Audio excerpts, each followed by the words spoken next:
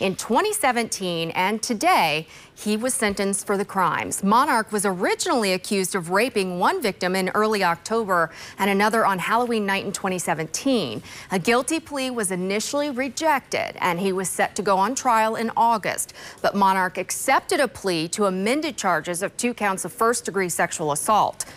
After the sentencing this morning, the prosecutor said the victims and their families are satisfied with the outcome.